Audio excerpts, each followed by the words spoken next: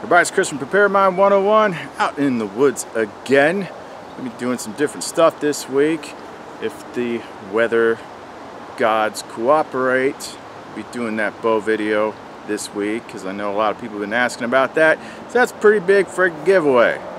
But, got to get back to business. So I've, you've heard me say Smoky Mountain Knife Works a lot this month, but I've only actually done one video. The rest was giveaway stuff. And wouldn't you know it, it's time to do another one. At some point I need to start keeping some knives. Just because. Although I did keep that I did keep that uh, that tops little bugger which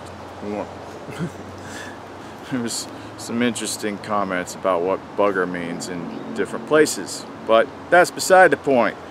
So today we are going to look at the promised Les Stroud knife from Helle. The, I'm sorry, it's not called the, the Joe or something simple. It is the Temagami. Temagami. I always mess that up. It's right up there with, you know, Tamagotchi or Tappy, whatever that tops one is. These words are not easy. You might think they are, but when the words are not actually in front of you, it creates problems. So this is one of the more robust Helle knives. It's actually, tang always goes all the way to the back. So it's a little bit more suited for bushcraft. Obviously, if Les Stroud designed it and had it made, it's going to hold up. So we're going to take a look at this fancy looking thing. Give it a first run through. I'm not going to beat it up too bad because it's not my knife. It's one of yours. So if you want to find out more and possibly get some Les Stroud goodness, don't go away.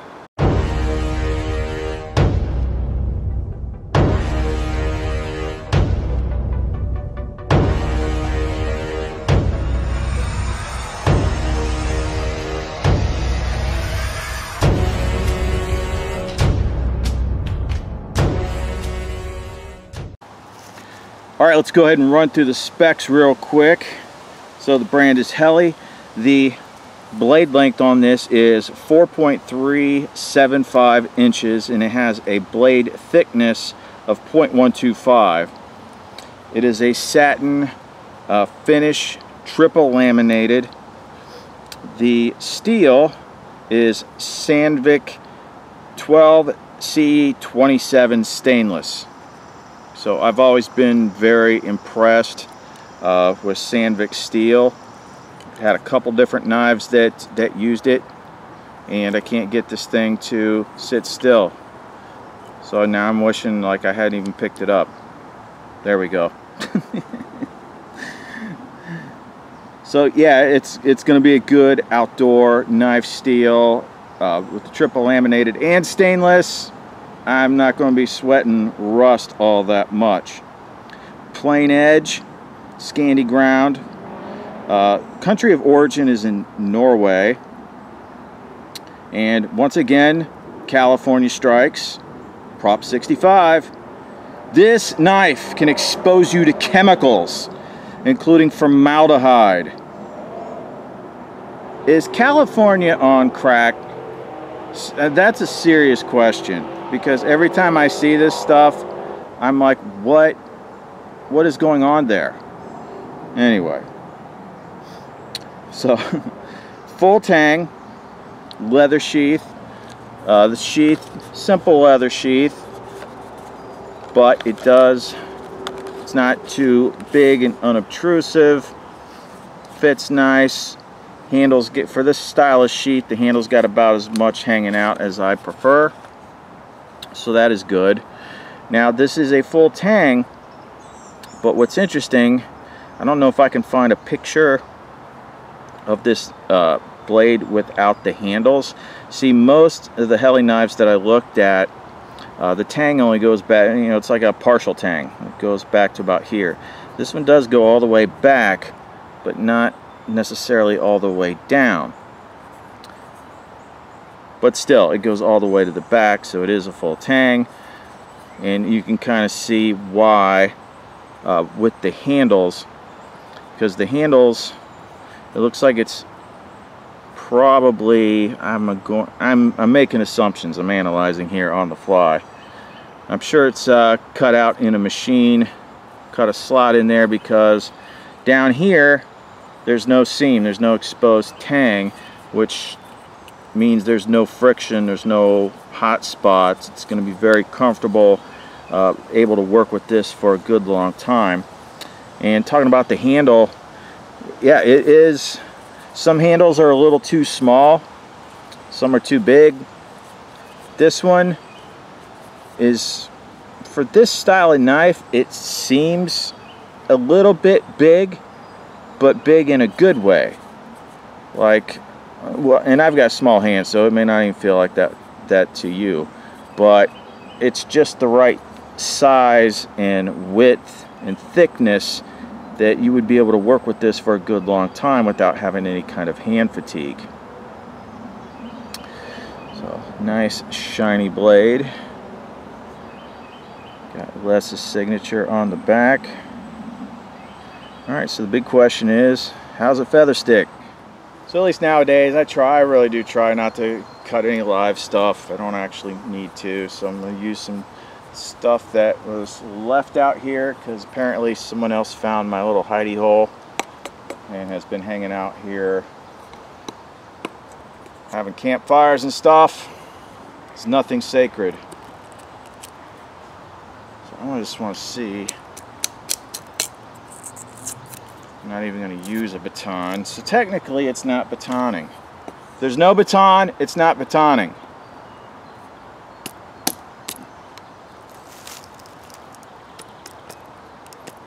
But I want a baton. I thought I might actually pull that off, but got a little light baton.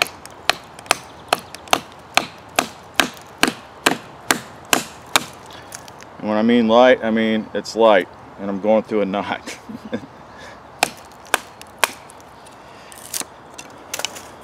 but got the job done. Definitely takes some nice big. Wow, this is a, this is an extremely slicey knife. What kind of witchcraft is this? Hmm. Huh. Kind of like over sliced there because I got excited. I'm like, wow, that feels pretty good. Because the question that ever is going to be on everybody's mind is, well, this is a $180 knife. Obviously, Helle makes good stuff.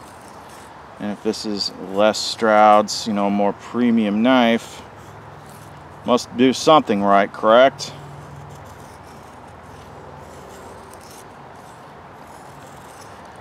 But what a lot of people kind of jump to in their minds is once you get above a certain price point, you start thinking super steels.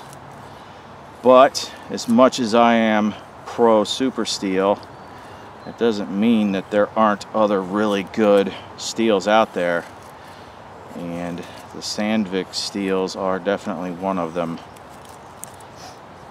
It's really easy to want to dig down deep with this knife making my feathers a little bit on the on the thick side but man this thing's are you seeing this I'm, I'm not just full of it. I mean, it is really good at removing material.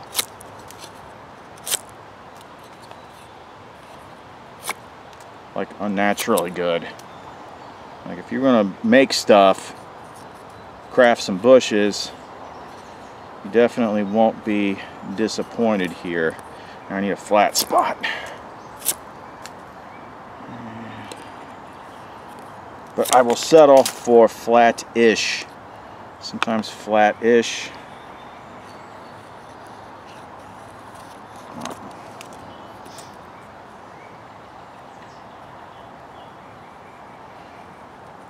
Every new knife, you gotta find that sweet spot angle. with the grind. It's the way that I usually hold the knife. It's very easy to go deep. And with this one I have to kind of angle back a little bit.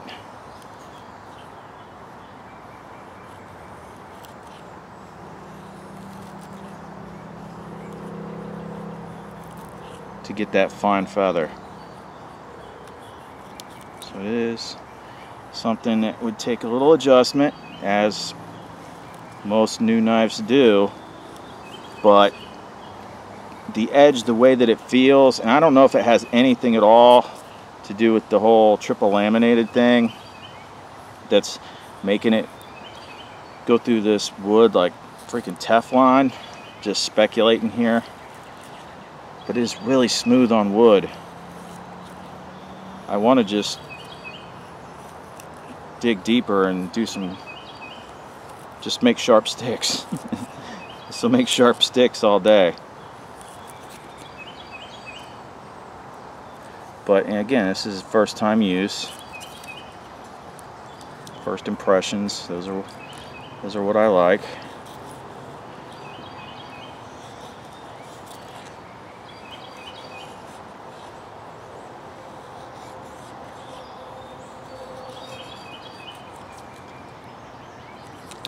So this thing feathers nice, it, it digs deep, the edge is just absolutely screaming sharp. I'm going to assume that because this is a survival guy's knife, although maybe I shouldn't assume, it kind of felt like it was sharp uh, but maybe that's that, that laminated stuff. There's Les Stroud. He can like rub acorns together and get fire. So that's an Ixnay on the ferro rod. But luckily there are hundreds of woodsmen out there who have been going out in the woods for 30 years and they have all got a Bic. So I'll just find one of them and say, hey bro, can borrow your lighter?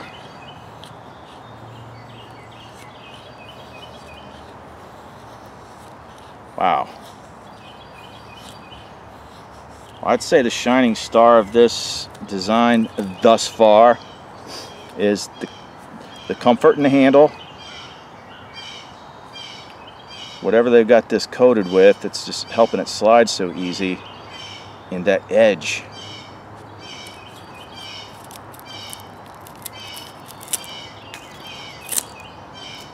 So I just want to dig down and take some material off. It's been a couple years since I used the whole beaver on meth descriptor but this may very well qualify for that metaphor. Jeez, this thing is a wood hog. Alright, got, got to hit pause on the Les Stroud knife because I just made feathers and if I don't see fire I'm going to be severely disappointed.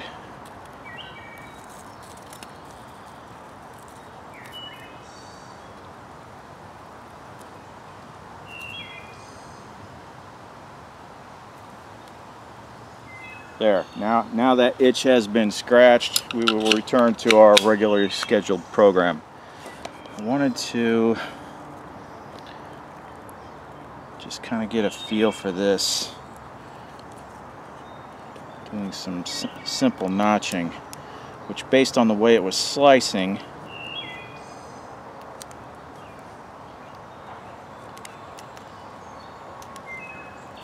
feels really good. So this is definitely a wood crafting knife.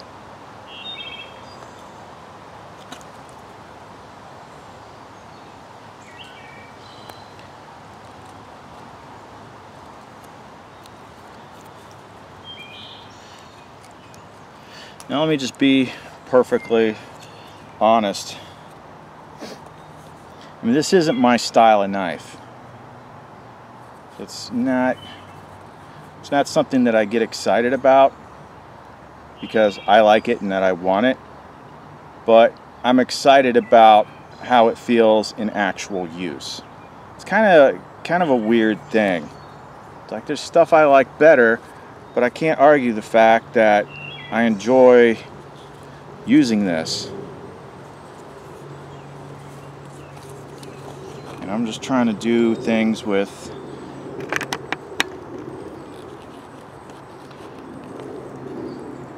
not even beating on the knife, but just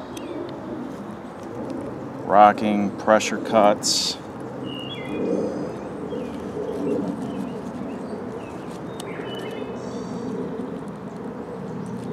Should probably look a little bit smoother if I did actually pound it in a little bit, but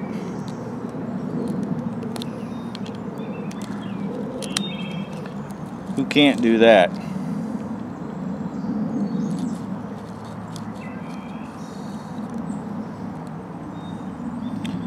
Trying to come up with the words to describe what's different about the way that this knife feels when I'm working on the wood.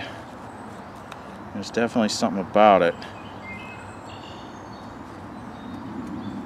Again, the only thing I can come up with is it's the geometry and that that lamination because I don't really have can't think of anything. I'm sure I've done something. But the whole laminated steel thing, it's not something that I'm, I'm used to. If you can think of something that I did that had that, let me know so it's not bugging me. Knife stuff, not tool stuff.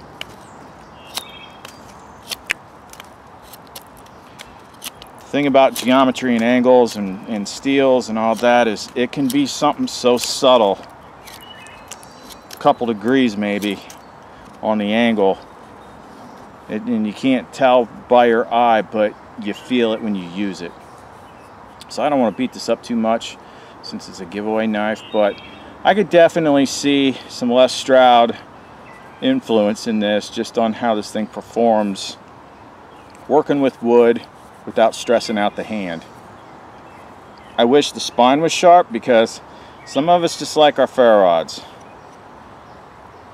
But I think that's the trade-off, just kind of like it's a trade-off with a tops, with a differentially heat treat. You get a stronger 1095 because the spine is softer. You don't get the you don't get the strike ferro rods with it, or with a, an SE in the coating. You get you get something, you give something up. But you know, it's not like that's the only way to start a fire either. It's just one that a lot of us happen to enjoy. It's fun. And I think the reason why is not about making the fire.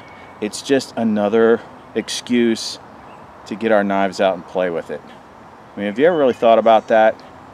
I think that's what it is. I think knife people just want every opportunity to play with their knife, and the ferro rod gives us one more opportunity.